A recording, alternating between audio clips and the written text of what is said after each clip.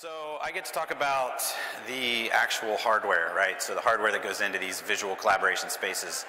And I refer to the various options that are out there in the marketplace as the spectrum of, wireless, of visual collaboration technology. So uh, I'm going to be kind of walking you through uh, what some various options are. I'm going to start at the very low end of the really inexpensive options that you've probably heard of. Some of them are even consumer grade, and kind of walk through uh, all the way the more full featured, um, even the immersive room type options that are out there. So I'm going to start off with uh, something you've probably seen before is the Chromecast. This would what I consider, you know, the pretty much the least expensive option out there. It's $35, allows you to wirelessly transmit from your computer.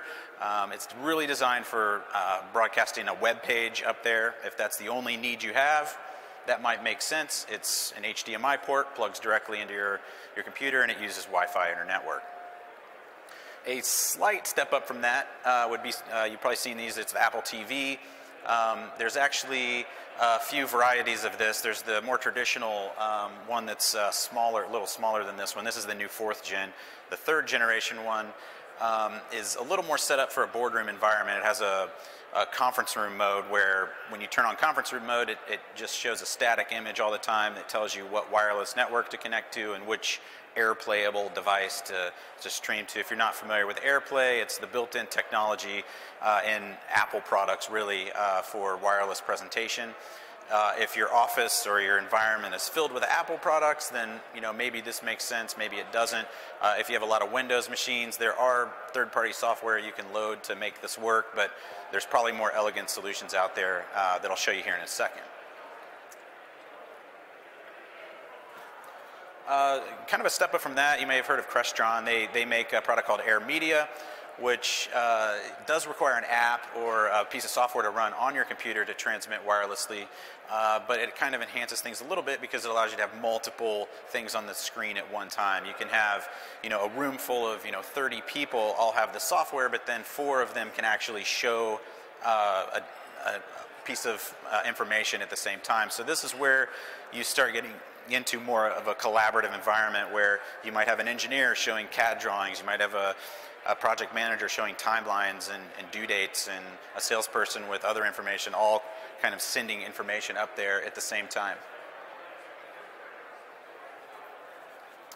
Uh, another option that's uh, kind of similar, but um, it's a little bit uh, what I would consider uh, more of like an easy button, right? So this is the Barco ClickShare. You may have seen this. Uh, I think it's in one of the booths. It's an actual USB uh, dongle that you plug into your computer. It has a small button on it. Uh, you press the button and it transmits whatever's on your screen up to this screen, and you can do again up to four things at once. Very easy to use with um, you know, a slight drawback would be that uh, the frame rate on something like this isn't like full video frame rate. The, the resolution's high, so you can do Excel spreadsheets, things like that, but full motion video uh, isn't going to look quite as good. Uh, another another one that this is uh, both they offer both software and hardware. You might have heard I don't know if you've heard of Mersive, but uh, Mersive does um, kind of a multi-user collaboration environment, right? So you can have uh, multiple people sending uh, different pieces of content up to the screen. It's a little bit limited to, uh, compared to some of the other things I'm going to talk about. It doesn't do things like annotation. Um, it's really just designed to present your, your stuff wirelessly. They have apps you can use. It actually natively supports AirPlay, um, which is uh, kind of nice. Uh, so you can just send your, your iPhone or your iPad up there natively. Um, it's it's not really designed for large scale video walls. People have made it work for that, um, but uh, it's it's more designed for you know maybe two displays, one display, something like that. Uh, then you get into like the Christie Brio. Uh, that's uh, actually um, over. Uh, you might have seen it here. Uh, this is uh, a little bit more of a step up. It's a little more of a, a hardware appliance that's designed for uh, you know, allowing five people or so to transmit uh, their content up there. And this adds the ability for actual annotation. So the screens themselves can be touched. You can walk up to them, annotate on the content. You can manage everything through a web portal. Um, so it's easy back-end user management if they want to decide what's up there, what's not from an administrative standpoint. Uh, pretty powerful product. Uh, another one is the uh, Kramer Via, which is on display right over back here. This this is a pretty cool product. It has a lot of features. Um, it allows you to do single or dual screen. You can uh, you can annotate on the content. You can have up to six people if you're doing dual screen, up to 12 people, six on each screen, presenting their content wirelessly.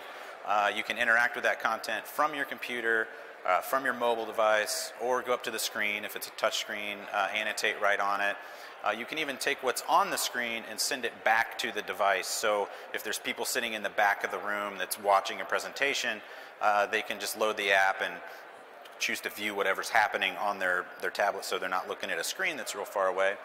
Um, as well as a whole suite of other features as far as cloud sharing and file. You know, after you annotate on something, you can shoot that file out to everybody in the audience. Um, pretty, pretty powerful stuff. Uh, another one, um, this is kind of a category of what I would call like built-in uh, collaboration devices. You know, you've probably heard of like the Microsoft Surface Hub that's kind of getting a lot of buzz right now. This is actually the Newline TrueTouch, which is actually right back over here. Uh, similar product to the Hub. They're both, uh, they have like PCs built into them. This particular one has both Windows and Android built in, um, as well as a capacitive touch uh, screen. And if you don't know what different technologies are as far as touch goes, capacitive is really the best kind of touch there is. It's, it's what you have on your iPhone and your, your iPad as opposed to an infrared bezel that's around of the, a lot of the lesser expensive uh, devices. And the infrared, um, you know, sunlight coming in your window can interrupt the touch and um, it's not really that accurate, whereas capacitive touch is, is super accurate and um, really responsive. So it's a really good touch technology. Uh, this display has two cameras in it, so you've got your, your top camera and your bottom camera. On the Microsoft one, it puts the cameras on each side. Um, and then uh, it has all the software built in, so you don't need to bring a PC. Uh, you can just you can annotate on whatever you're looking at. You can save it. Um, you can save your sessions. Um, extremely easy to use. If you haven't played with this particular product, I'd recommend going going over to Newline over there and, and checking this thing out. Um, and then uh, the last one I wanted to touch on real quick is actually uh, uh, the Prysm synthesis product, which you may have seen uh, right over here. And so this is what I would consider, I mean, you can actually put this in a lot of different environments. You can put it on a single screen like we have here. You can put it on a large video wall, which we call, we kind of refer that, to that as like a large immersive room where the entire wall technically could be a video display, an interactive video display.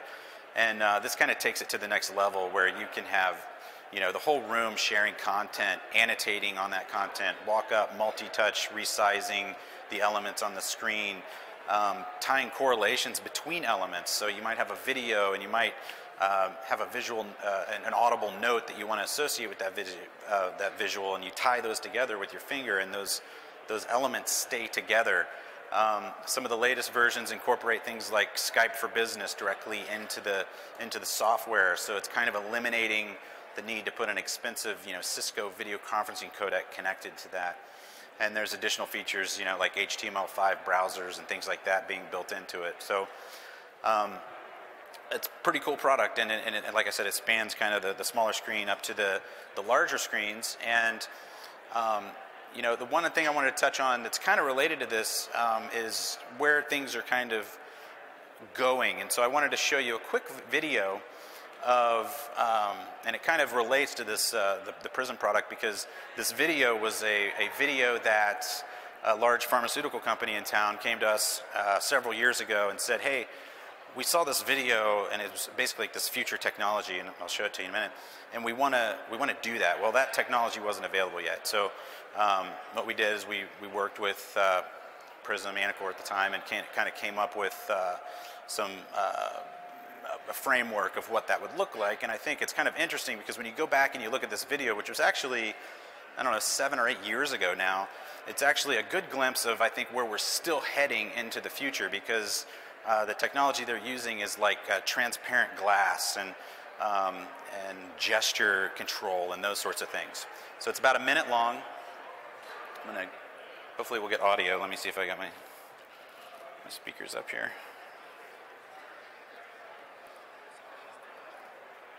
Yeah, I'm not going to get audio, but that's okay.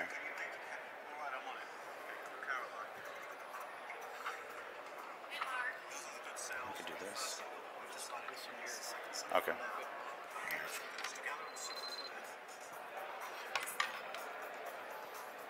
Hopefully it didn't pop. Let's give up the momentum. We're going to do a short tour of Europe. Can you confirm Berlin? We need to check on Munich, Paris, London, and Manchester. This looks really good. Do you think we'll have the EPK ready by noon? That shouldn't be a problem at all. Thank you so much. Sayonara. Sayonara. I've tried everything. He just won't do it. I'm so sorry. We're live in one minute. Sorry, Mark. I won't do it. Just kidding, man. Happy birthday. Enjoy the show. Guys, ready for some rock? So that that was obviously Tandberg before they got uh, acquired by Cisco, but uh, that kind of gives you an idea of you know some uh, visionary ideas of where things were going several years ago, and I think we're still heading there. You know, I don't know if you guys sat through the presentation by Planar, but you know these translucent uh, you know, displays are actually a thing. You know, these things are, are starting to be sold uh, and they're, they're being produced, uh, the, the transparent OLED displays. So uh, pretty exciting times. Um, if you do have any questions, I'm going to go back to the chit chat. Is that what we're calling it? All right, chit chat area. Uh, I'd be happy to answer any questions on that.